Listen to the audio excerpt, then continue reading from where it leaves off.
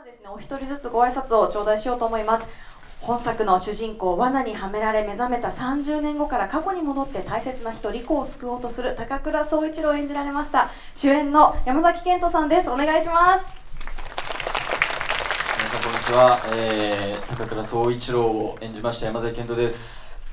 今日は無事あの公開を迎えることができて本当に嬉しく思います、えーすごくポジティブになれる映画なので皆さんあの楽しんでいってほしいなと思います。よろしくお願いします。よろしくお願いします。ありがとうございます。はじめましてドリコ役を演じました清原かえです。今日は来てくださってありがとうございます、えー映画が無事に公開できることと今日皆様の前でこういう舞台挨拶をできることがもうすごくありがたいなと思ってます。今日は最後までよろしくお願いします。りがとうございます。ここで皆さんにとってですね本作に共感された部分またその影響を与えられた部分というのを教えていただこうかなと思いますがまず山崎さんいかがでしょうか？いや本当に今おっしゃってた通りあの諦めなければ失敗じゃないっていうこのメッセージがこの「夏への扉」っていう作品ではすごく大事なメッセージだなと思ってて。でそういう中で演じててこうある程度総一郎の中でこういう風な未来になるっていう想定がついていてもその今起きているこの出来事に対して一生懸命ににならないともしかしたら未来が変わんないんじゃないかと思ってその今を一生懸命人を説得させようとしたりする部分にすごく共感してやっぱこうある程度こううまくいくかなと思ってても今そう気抜いちゃったりとかなんかそのサボっちゃったりするのはダメなんだなと思ってダメだろうなっていうかなんかそこを今を一生懸命やった方がいいなっていうのはすごく共感しながらやってたしあの演じててもすごく楽しい部分でした。うん、今を重ねていくことが未来になっていくという、こう普遍で当たり前のようですけれども忘れがちなね大事なメッセージがありますよね、はい。山崎さんありがとうございます。はい。清原さんはいかがでしょう？私はまあリコちゃんを演じて思ったことは本当に人の思いの強さは未来を動かすじゃないですけどまっすぐにこう懸命にそのことについて頑張っていれば報われることもあるんだなというかそういうことはなんか映画見て思いましたね。いいなと思って。それはご自身のそのお仕事にフィードバックされていますか？できてたらいいなとは思うんですけどなんか今はうんお芝居好きなのでお芝居についてまっすぐ考えていければいいなとは思ってます。ありがとうございます。皆さんの見たい未来理想の未来をお一人ずつ教えていただこうかなと思いますが山崎さん山崎さんの見たい未来はどんな未来でしょ僕はその映画の未来がどうなってるのかすごい気になってて iMAX とか MX4D とかあるじゃないですか。なんかちょっと濡れ濡れたりとか濡れたりとか。濡れたりとか。はい。えどうなるの？みたいな。こ今後もう映画の中入れちゃうのかな？みたいうん。あるかもね。なはい。なんかそういうどんな映画体験ができる未来になっていくんだろうっていうのがすごいワクワクしてますね。うなるほどこういう風になったらいいなみたいなのって具体的にありますか？いやでも入っちゃうとストーリーが変わっちゃうんで。それギリギリのラインですか？ねなんでしょうね。だからもうリアルにこう銃弾を食らった痛みはあるけど死なないとか。なんでしょうねその本当に何ですかね痛み今がもう結構限界なんですかね。どうですか？これ皆さんどう思われどうなんですか？えどういう痛いのは嫌じゃない。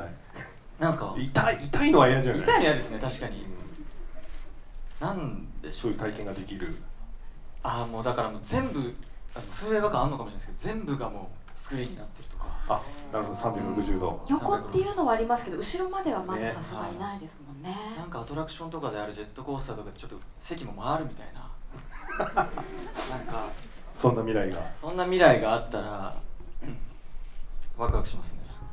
匂いとかはなんかすぐに叶えそうな感じしますそうですね。匂いねもいいですね。土とか。土。なのそこ土なの？いい匂いとか臭い匂いも全部含めああなるほど。全部匂ってきて。土の匂い？土の匂い大事じゃないですか。オイルの匂いとか。あなんか草原の匂いとか草ね原の匂いとか。いいですね、はい。確かに見たい未来かもしれないそれは。そうです。はい。ありがとうございます、はい。清原さんはご自身が見たい未来理想の未来どんな未来でしょ私はすものすごくシンプルなんですけどあのみんなが笑顔で美味しいものをいっぱい食べれて幸せな未来があったらいいなとは思います。う シンプルですけどそれが意外と簡単じゃないよっていうことがね。そうそういうことなんですよね、みんなに幸せがあったらいいなと思いますね。ちなみに清原さんが食べてみんなで食べたい幸せになりそうな料理って何ですか？みんなで食べたいですか？私最近ハマってるのはちくわなんですよね。今日のお昼もちくわ食べちゃう。みんなでちくわそれは違うかなんか美味しそうなものであれば何でも。ちくわにハマってるという情報ありがとうございます。はいあのー本当にもうこの、えー舞台上にいるキャストほかまあ素敵なキャストの皆さんに囲まれてしかもこうスタッフ一同、えー本当に一生懸命気持ちを込めて作った作品です、えーどうかその愛をですねこう受けあ受け止めて、えー本当にあの楽しんでいただけたら嬉しいです。今日はありがとうございました。関監督ありがとうございます。そして最後に山崎さんお願いします。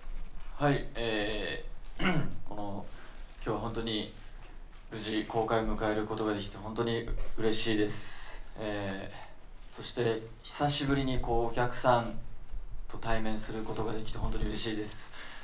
やっぱ映画はこう撮影して完成して出来上がってお客さんに見てもらって初めてなんかこうなんかなんですかね意味を持つというかなんか見てもらった人にやっぱすごくポジティブなメッセージだったり温かい気持ちになったりなんか大切なことになんか気づいてもらえたりしてほしいなと思ってるので久々にこうお客さんと対面してあの迎えることができて本当に嬉しいです。えーあのこの作品はあの「夏への扉」っていうタイトルでどんな逆境の中でも真冬でも夏への扉を探すっていう意味でどんな逆境にいても諦めないでこうとにかく前向きに前を進んでいくっていうメッセージがすごく好きで、まあ、その中にあるこうとにかく自分の信じた道をまっすぐ進んでいたらいろんな人が助けてくれたりいろんな人に支えられていくっていうところが本当に素敵だなと思っててこの映画作りにもすごく感じることで本当にいろんな人の力で一個の映画ができるんだなってすごく感じますしなのであのーそうですね。そういうふうに頑張ってたらなんか本当に最高のサプライズが待ってるんだなと思いますので皆さんにも最高のサプライズが訪れる日が来ますように願っております。今日はありがとうございました。山崎さんありがとうございます。以上で夏への扉君のいる未来へ初日舞台挨拶を終了いたします。皆さん拍手でお送りください。キャストの皆さん本当にありがとうございました